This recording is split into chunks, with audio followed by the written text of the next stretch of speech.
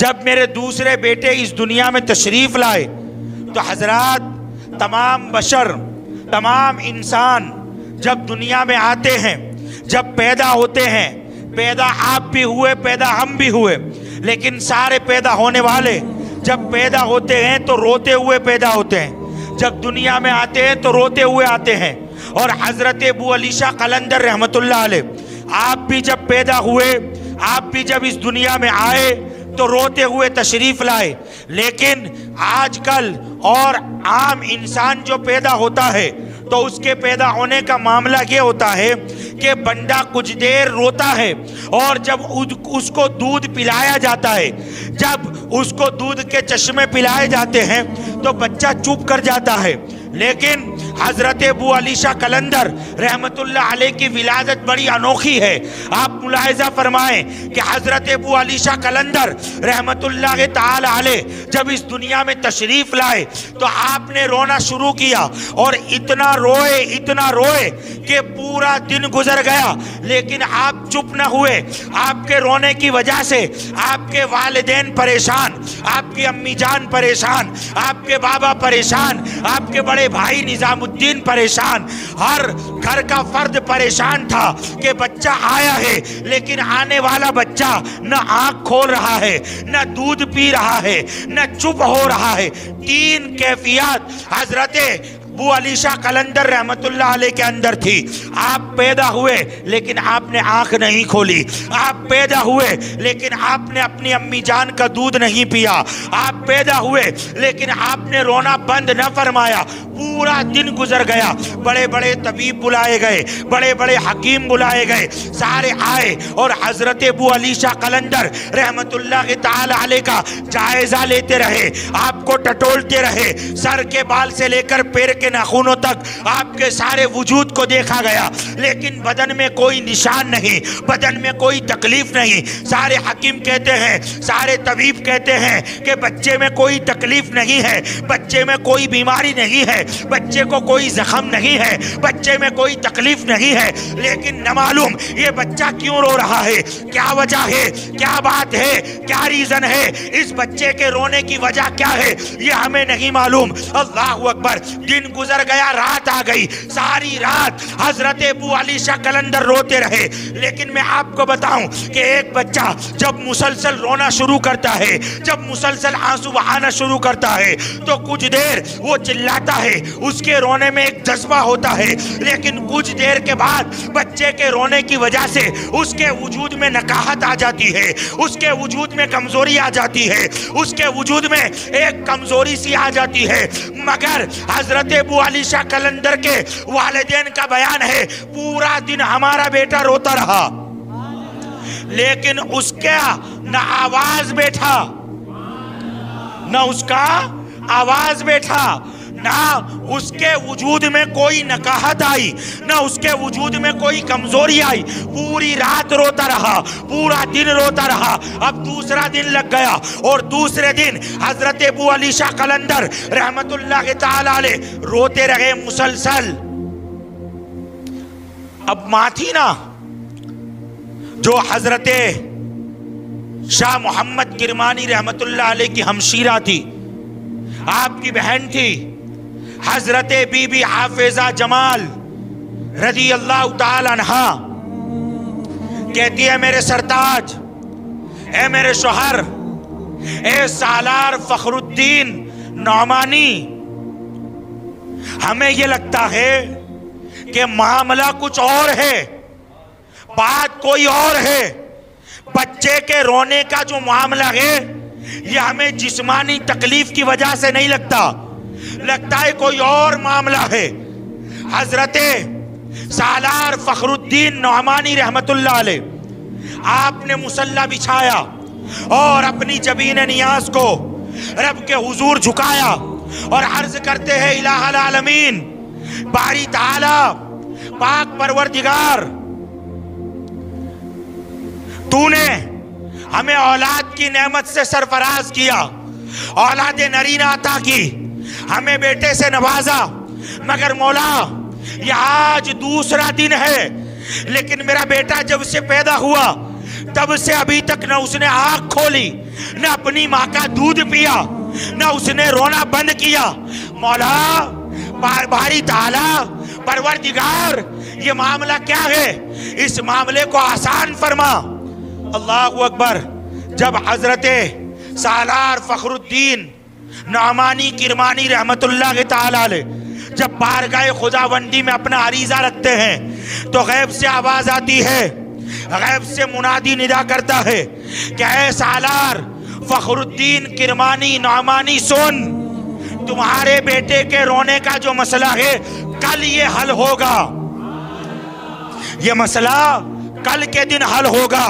अल्लाह अकबर किताबों में है, हज़रत शरफुद्दीन बू अली शाह कलंदर रहमतुल्लाह के ताले मुसलसल तीन दिन रोते रहे। तीन दिन तक आपने आँख न खोली। एक मौलाए कायनात। सरकार मौला मुश्किल कुशा। आप जब पैदा हुए तो आप काबे के अंदर पैदा हुए। लेकिन सरकार मौलाए कायनात ने भी आँख न खोली। देखो वलियों को किस तरह मौलाए कायनात का फैज मिलता है। हज़रत अबू अली शाह कलंदर, आपने भी आँख न खोली।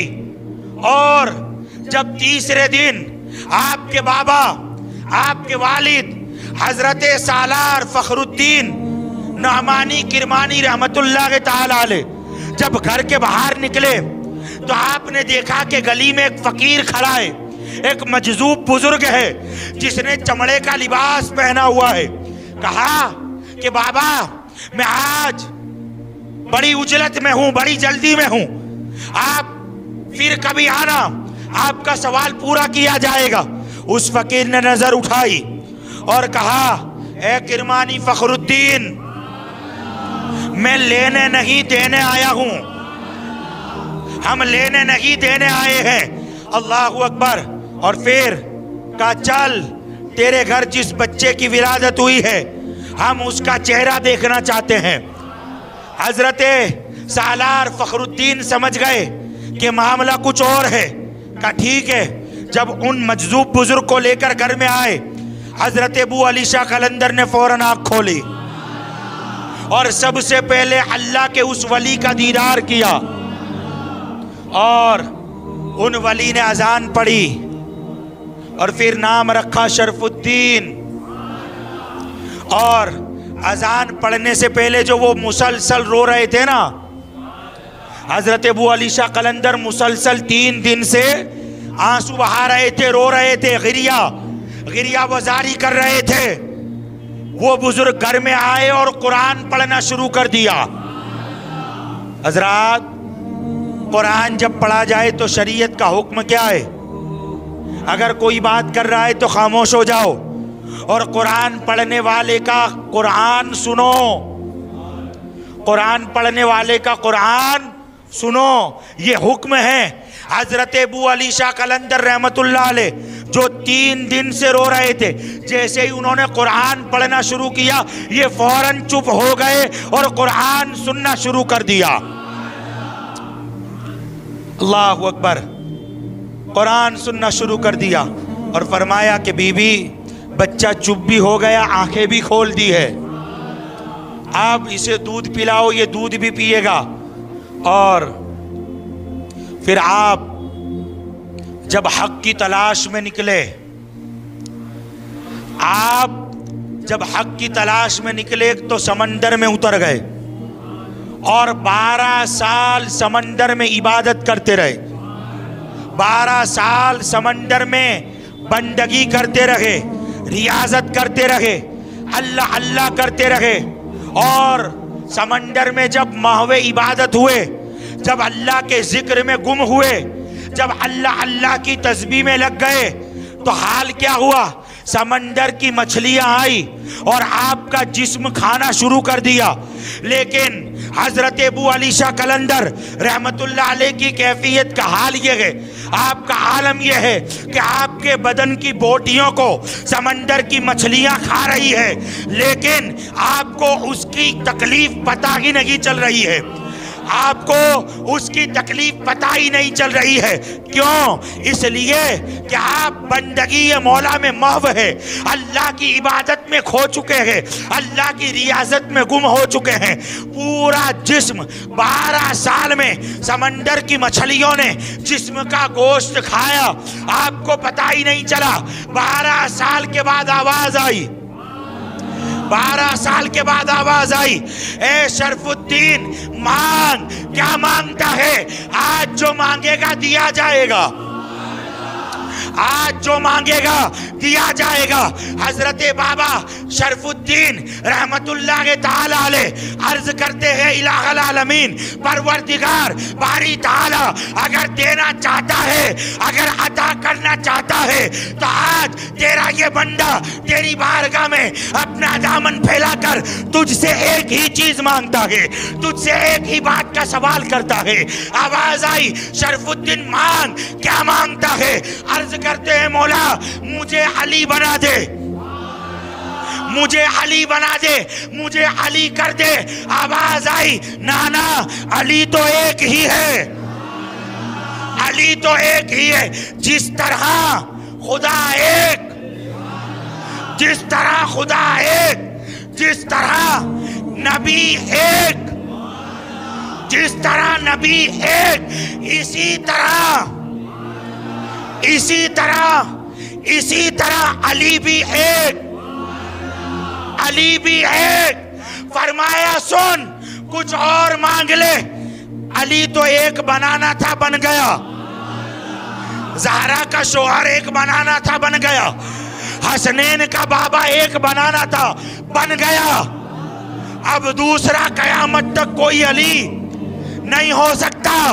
अल्लाह अकबर, अर्ज़ करते मौला, बस मुझे तो यही चाहिए। देना है तो मुझे अली बना। अगर देना चाहता है तो बना दे मुझे अली, वरना मुझे कुछ नहीं चाहिए। अल्लाह अकबर। अब आवाज़ आई, शरफुद्दीन, अली तो एक था, हो गया। अब ये हो सकता है कि हम तुझे अली की बू अता करते हैं। हम तुझे अली की बू अता करते हैं। अल्लाह अकबर, फरमाया, समंदर से बाहर आ जा, पानी से बाहर आ जा। तुझे, तुझसे बड़ा काम लेना है। तुझसे दीन की बड़ी खिदमत लेनी है। हज़रत अबू अली शाह कलंदर, रहमतुल्लाह कहते, मौला, मैं तो इसी समंदर में, इसी पानी में तेरा ज़िक्र करते करते अपनी जान तेरी बारगाह में पेश कर दूँगा। अल्लाह अकबर।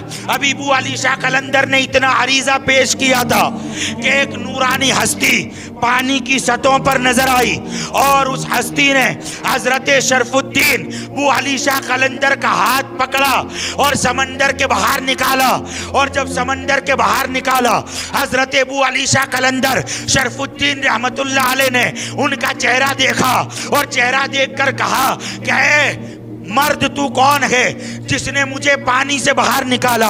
मैं बारह साल से पानी में था। मैं अपनी मंजिल के करीब था। मैं अपनी मंजिल को पाने वाला था।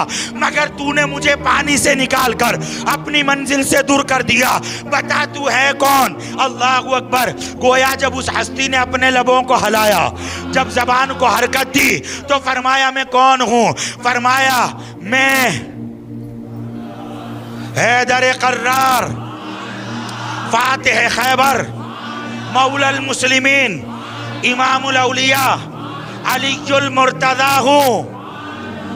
वो अली शाह कलंदर फ़ौरन कदमों में गिर गए। फ़ौरन कदमों में गिरे और सीना बसीना आपको सारे उलूम अता किए। और फिर हज़रत अबू अली शाह कलंदर अलैह को, जब सरकार मौलाए कायनात ने अपने सीने से लगाया तो आप हज़रत शरफुद्दीन, बू अली शाह कलंदर रहमतुल्लाह के जिस्म से हज़रत अली के जिस्म की खुशबू आना शुरू हो गई। अल्लाह अकबर। और फिर आपने जो दुनिया को फैज पहुँचाया, एक औरत आई जो बे औलाद थी। क्या थी? औलाद नहीं थी। और आप पान इस्तेमाल फरमाते थे। आपकी आदत क्या थी? पान खाने की। उसने कहा, हुजूर, मैं कई दिनों से आपकी बारगाह में आती हूँ, और वो औरत हर चंद दिन के बाद आपकी बारगाह में आती। आप क्या फरमाते? उसका दही बेचने का कारोबार था। वो हजूर को दही पेश करती, आप एक सोने का सिक्का उसको देते। कहते, मुझे दही की आजत नहीं, दही भी ले जा, सोने का सिक्का भी ले जा। हर चंद दिन गुजरते, फिर आती, आप फिर एक सोने का सिक्का देते ये पहला अल्लाह वाला ऐसा है। आप समझ गए मेरा जो इशारा है? जो बांटता है, जो बांट रहा है। अल्लाह अकबर। फिर चंद दिनों बाद फिर आती, आप फिर सोने का सिक्का देते। ये मामूल रहा।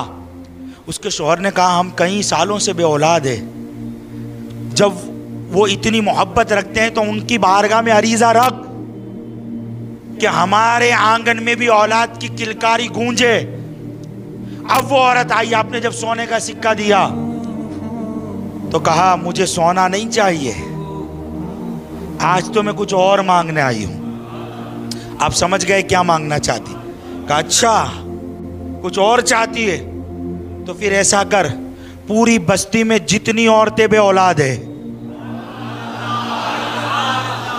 पूरी बस्ती में जितनी औरतें, पाँच है बे औलाद। जा सबको ले आ। सारे शहर की औरतें आ गई, जितनी बे औलाद थी। आपने वो पान निकाला और सबको एक एक उसका जर्रा दिया।